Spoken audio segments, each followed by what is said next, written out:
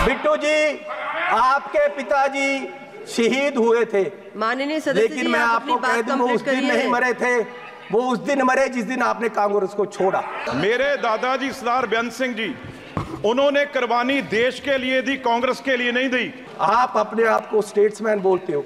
आप अपने आप को देश के बहुत बड़े खैर ख्वाह बोलते हो और देश को बेच रहे हो। गरीब आदमी कहाँ जाएगा एक दिन? तो ये आप गरीबी की बात कर रहे हैं। अगर सारे पंजाब से सबसे अमीर आदमी ये ना हो और सबसे करप्ट ना हो मैं अपना नाम बदल दूँगा। हज़ारों करोड़ का मालिक ये चरणजीत चन्नी है। इनमें और अंग्रेज़ों में कोई फ़र्क नहीं सिर्फ़ कलर का फ़र्क है।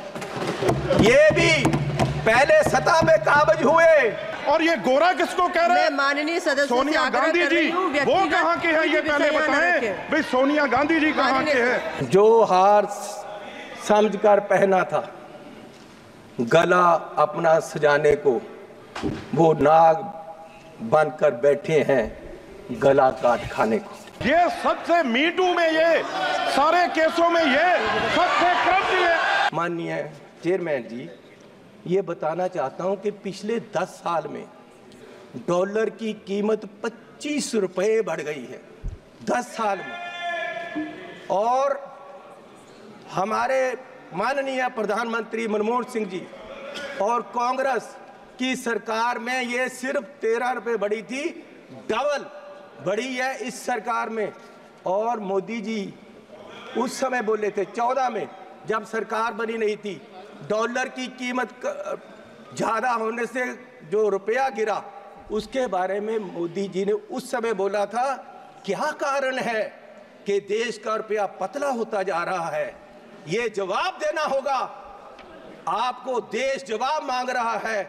समझ नहीं आ रहा, प्रधानमंत्री जी गिर रहे हैं, या रुपया गिर रहा है? कभी कभी तो लगता है कि रुपए की और सरकार के बीच कंपटीशन चल रहा है कि सरकार ज़्यादा गिर रही है या रुपया ज़्यादा गिर रहा है। और मोदी जी ने कहा था, जिस देश का रुपया कमज़ोर होता है, उस देश की सरकार कमज़ोर होती है, उस देश का प्रधानमंत्री कमज़ोर होता है। मैं आज मैं आज कहता हूँ कि आज देश का रुपया कमज़ोर हो रहा है। आज देश की इकोनॉमी डूब रही है।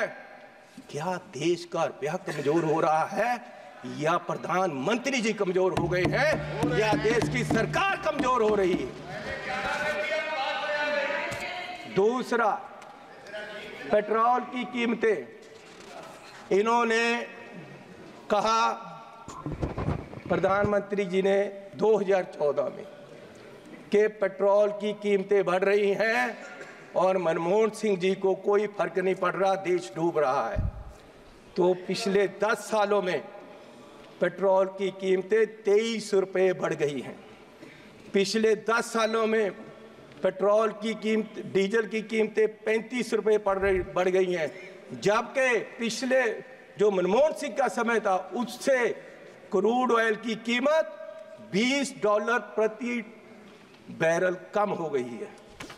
तो मैं पूछना चाहता हूँ कि ये पेट्रोल बढ़ रहा है या आपकी आपकी कंपनियों की, आपके आमदियों की आमदन बढ़ रही है? क्या बढ़ा रहे हो?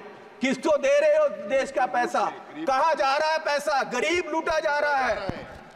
माननीय चेयरमैन जी, आप गाड़ी फुल कराने जाओ, पचास लीटर तेल डलवाओ दो हज़ार रुपया सरकार को चला जाता है। चार रुपए प्रति किलोमीटर हर व्यक्ति देश का गरीब सरकार को देता है चलने का एक किलोमीटर, चलो, चार रुपए सरकार को गए।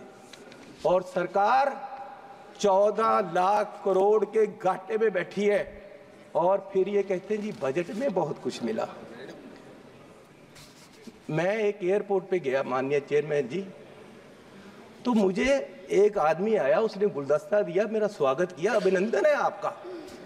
मैंने कहा, भैया, आप कौन हो? मेरा अभिनंदन क्यों कर रहे? बोले, जी, हम अडानी जी की तरफ़ से आपका स्वागत कर रहे मैंने कहा, भैया, आप मेरा स्वागत क्यों कर रहे हो? बोले, जी, अब ये एयरपोर्ट हमारा है। अब हम, हमें इसके मालिक है। पचास साल के लिए हमने ले लिया है। तो मैंने कहा, यार, चलो, ठीक है, आपने ले लिया, आपका धन्यवाद, मैं जहाज़ में चला गया। जहाज़ में गया, वहाँ फिर मुझे बुक्के मिला। वो कहते हैं जी, आपका स्वागत है, हम कंपनी की तरफ़ से कर रहे मैंने कहा, यार, इंडियन एयरलाइन का जहाज़ है, आप क्या कर रहे हो? आप कौन हो? बोले, जी, ये जहाज़ अब हमारी कंपनी का है। ये मोदी जी ने हमें बेच दिया है। तो मैं पूछना चाहता हूँ कि क्या क्या बेचोगे? कितना बेचोगे देश को? मैं सात एयरपोर्ट पे गया। मैं सात एयरपोर्ट पे गया, जिनमें लखनऊ, अहमदाबाद, मैंगलोर, जयपुर, गुवाहाटी, त्रिवेंद्रम, मुंबई, ये सात के सात एयरपोर्ट अडानी जी की है। पचास साल के लिए उनको दे दिए गए हैं। उनका जो पुत्र है, उसकी शादी में गिफ्ट कर दिए गए हैं। और हज़ारों करोड़ रुपए शादी पे लगा। मेरे लड़के की शादी गुरुद्वारा में हुई। सुनो सुनो सुनो। माननीय चेयरमैन जी, मेरे लड़के की शादी गुरुद्वारे में हुई। आज तक पुलिस पूछ रही है कि लंगर में क्या क्या पका था? दाल कितनी लगी थी और जो लंगर बनाने वाला उसको कितने पैसे दिए गए? आज तक दो साल से पुलिस पूछ रही है मुझे। और इस शादी में हज़ारों करोड़ रुपया लगा है। और प्रधान जी बुके लेकर जा रहे हैं, प्रधानमंत्री जी। और उनका स्वागत कर रहे हैं, गरीब को लूटा जा रहा है। गरीब के पास खाने के लिए पैसा नहीं है। और प्रधानमंत्री जी वहाँ बुके लेकर हज़ारों करोड़ की शादी में जा रहे कोई बात नहीं। क्या क्या बेचोगे? सारे। एयरपोर्ट, जहाज़ बेच दिए। आप देश की संपत्ति के कस्टोडियन हो, मालिक नहीं हो। आप इसको बेचने की गलती मत करो, देश बर्बाद करने की मत करो। आप अपने आप को स्टेट्समैन बोलते हो। आप अपने आप को देश के बहुत बड़े खैर ख्वाह बोलते हो और देश को बेच रहे हो। गरीब आदमी कहाँ जाएगा एक दिन? प्रधान सेवक। जो हार समझकर पहना था, गला अपना सजाने को, वो नाग बनकर बैठे हैं गला काट खाने को। माननीय चेयरमैन जी, ईस्ट इंडिया कंपनी आई। उन्होंने पहले व्यापार पे कब्जा किया ईस्ट इंडिया कंपनी ने। और व्यापार के माध्यम से देश की सतह पे कब्जा कर लिया। इनमें और अंग्रेज़ों में कोई फ़र्क नहीं सिर्फ़ कलर का फ़र्क है। ये भी पहले सतह पे काबज हुए और फिर सतह के माध्यम से आज ये देश की राजनीति के माध्यम से पूरे देश के व्यापार पे अपने आदमियों का कब्जा करा रहे हैं। और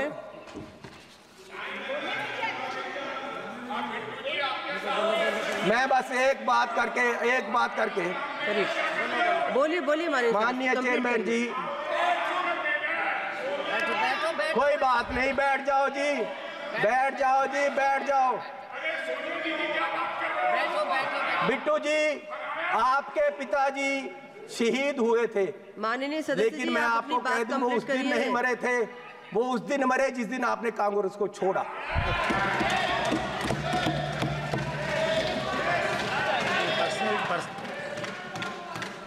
देश माननीय- राहुल गांधी जी की तरफ़ देख रहा है। मैं आग्रह कर रही हूँ माननीय चेयरमैन जी आप वो मुझे तंग कर रहे हैं जी उनको बोलो बैठे। इनको बुलाइए। वो पंजाब से आए तो इसका मतलब ये। नहीं कि मुझे तंग करते रहे। माननीय सदस्य सुनील माननीय चेयरमैन जी चेयरमैन मैं आपसे निवेदन करना चेयरमैन चाहता हूँ कि आप मेरा नाम लिया। मेरे दादाजी सरदार बेअंत सिंह जी उन्होंने कुर्बानी देश के लिए दी कांग्रेस के लिए नहीं दी। देश के लिए दी। और ये इस चन्नी की बैठो, बैठो। ये अपनी जायदाद पूछे इनको ये आप गरीबी की बात कर रहे हैं। अगर सारे पंजाब से सबसे अमीर आदमी ये ना हो और सबसे करप्ट ना हो मैं अपना नाम बदल दूँगा। हज़ारों करोड़ का मालिक ये चरणजीत चन्नी है और ये गोरा किसको कह रहे हैं? माननीय सदस्य सोनिया गांधी जी वो कहाँ के हैं? ये पहले बताएँ भाई सोनिया गांधी जी कहाँ के हैं?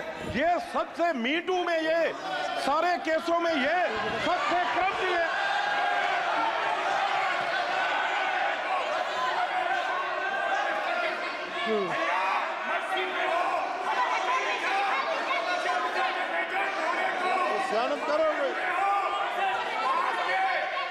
माननीय सदस्य अपनी बात कंप्लीट करें।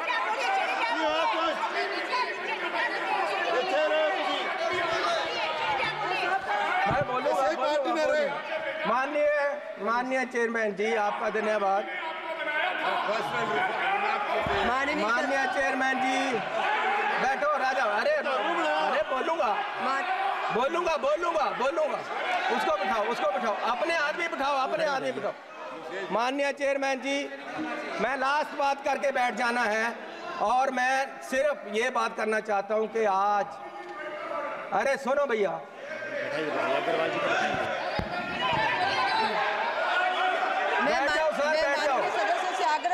बोलूँगा बोलूँगा माननीय chairman ji madam what is going on madam ये क्या हो रहा है उनको बोलने को